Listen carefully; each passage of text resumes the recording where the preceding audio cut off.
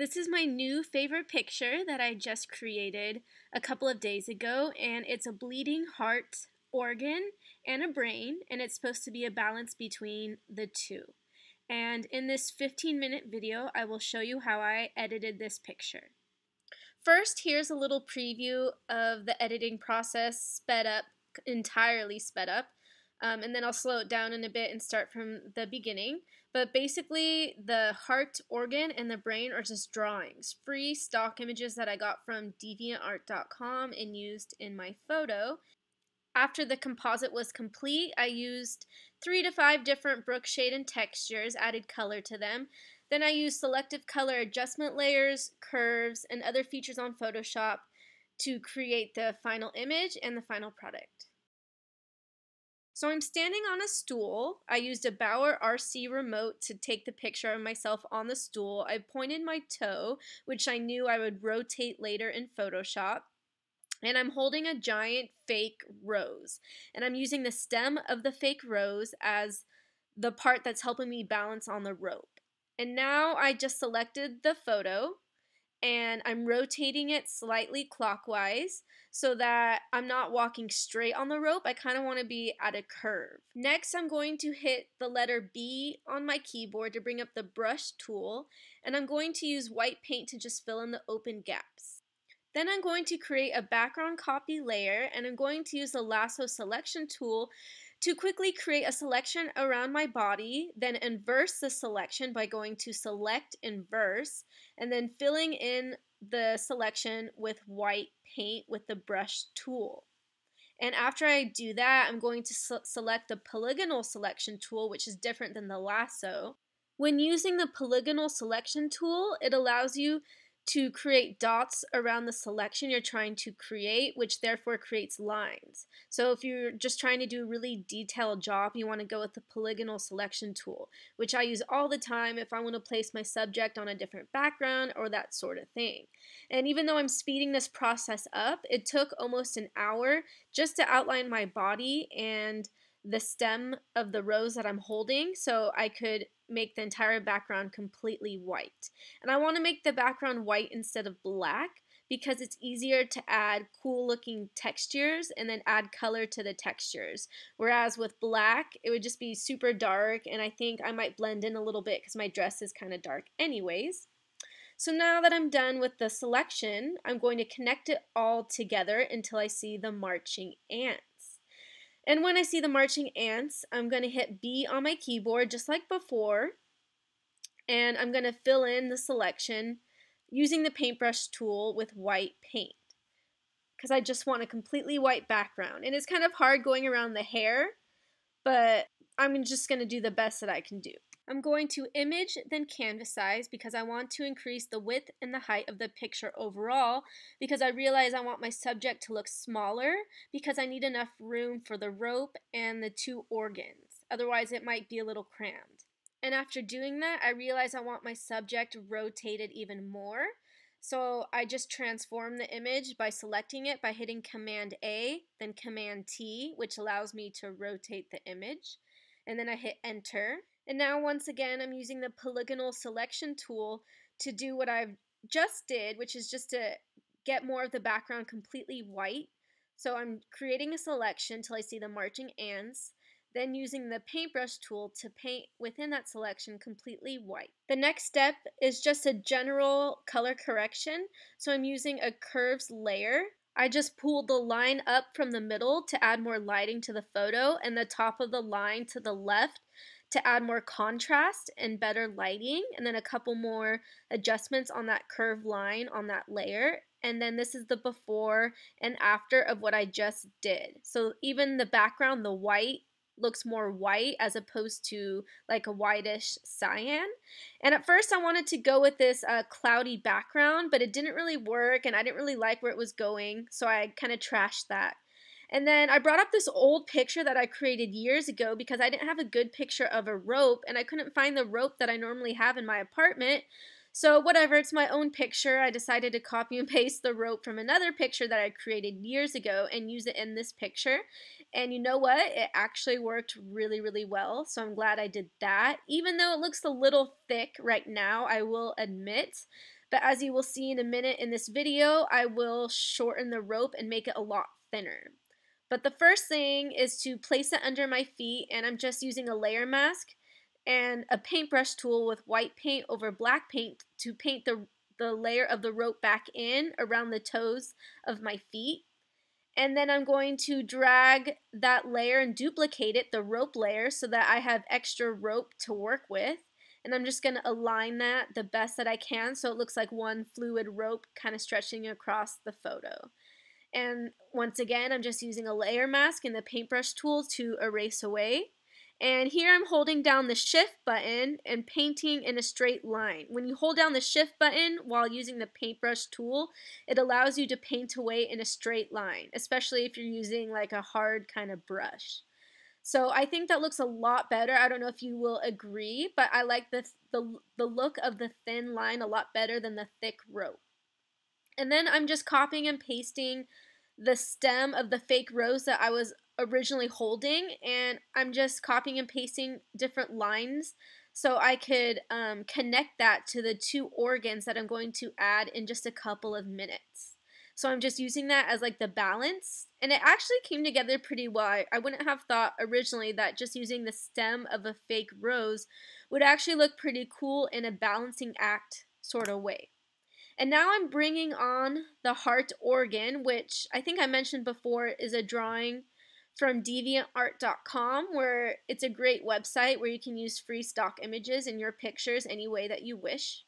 And originally the drawing was black and white, but no problem. I'm going to use my curves layer and make it completely red and pink like a regular heart, which actually turned out a lot cooler than I thought it would. So yeah, here's my curves layer.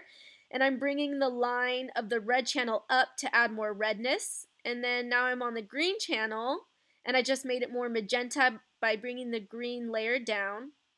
Now I'm bringing on the brain organ, which was originally very small looking in the beginning, and then I transformed it by hitting Command T on my keyboard, which allowed me to stretch it out, make it really large, and it didn't really lose any resolution, so it worked for what I was trying to do. And I'm using the curves layer, the blue layer on the curves channel, just to make the brain blue. And once again, I'm just pulling the line up on the blue channel to make it blue.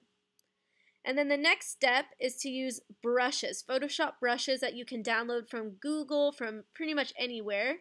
I'm just using a hairbrush. It's super simple. You select the color you want and then use the brush, paste it on, and it just looks really cool. So I just like the little detail of the hair flip. Now I'm using the dodge tool to brighten up my legs and my face and I just want to do this before I add on the textures because doing this after the textures could look kind of weird to the texture so I don't want to affect the texture with the dodge tool. So I'm doing that before the texture and look at the difference the before and after. So I always use the dodge tool pretty much in like every picture that I do just depending what needs to be dodged whatever. Um, and then I'm the next step is to start the process of the texture application. So I'm using Brooke Shaden Texture, and I'm going to start off with a color texture, which I almost never use because usually all my textures are black and white. But she actually has some really cool colors that already have a color to them.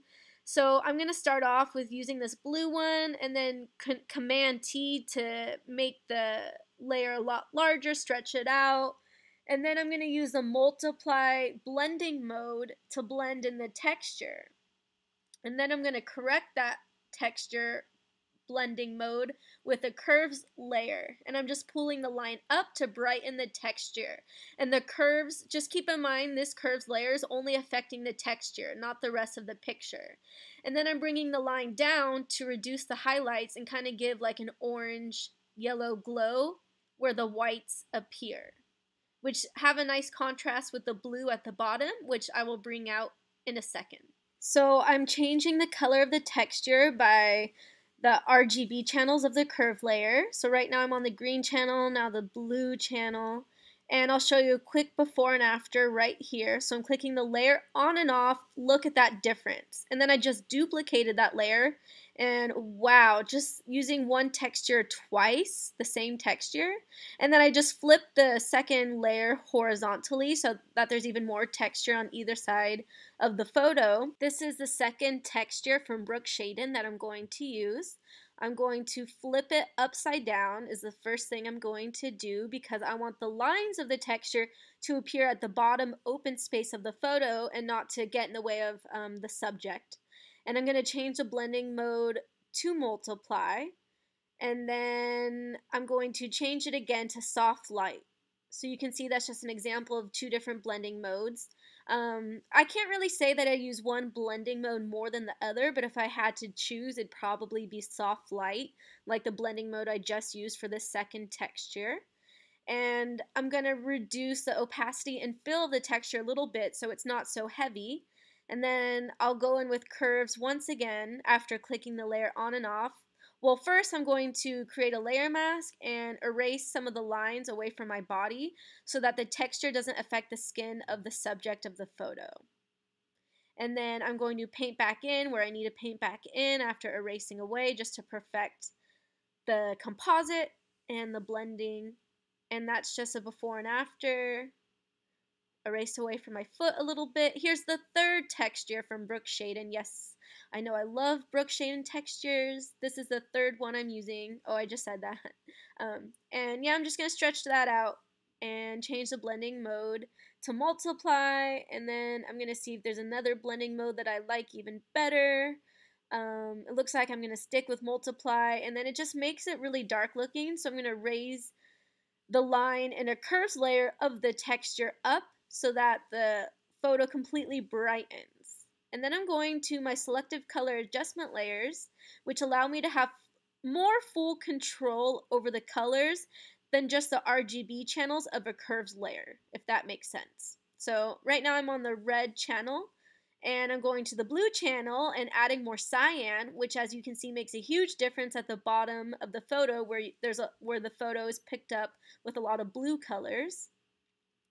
And then I'm going to reduce the blacks of the blues, which kind of make the photo more soft looking. Then I'm going to add more saturation and vibrance, which is like the next step I normally do after selective color adjustment layers and once the composite is totally complete. Then I'm going to bring the image into VSCO where I can add some natural looking vi vignette. It's always hard to pronounce that word, vignette. I don't know. I really like the vignette because it just darkens the sides of the picture without affecting the subject in the middle. And then after VSCO and Lightroom, I'm bringing the image back into Photoshop where I'm using Photoshop brushes just to paint on the dripping effect of the heart and the brain. So you can find these Photoshop brushes. These are actually paint brushes.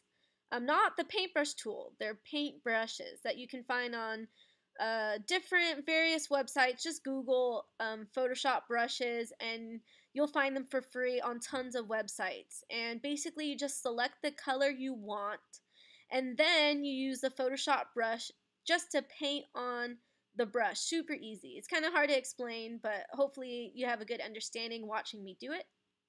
This is the final image. I'm really happy with how it looks. Mostly, you can agree, I think it's a texture that really brings it together and makes it very painterly like. I really like the lighting too, especially on my dress kind of in the middle, how it lights up there.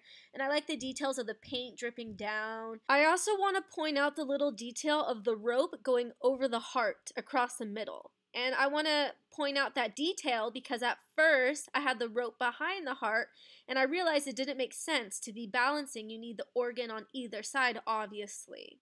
Altogether, this photo took me around three hours or more to edit.